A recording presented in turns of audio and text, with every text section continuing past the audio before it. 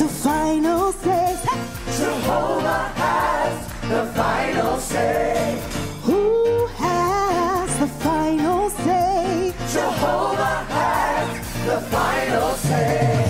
No matter what the doctor says, Jehovah has the final say. No matter what the bills may say, Jehovah has the final say. say disappear.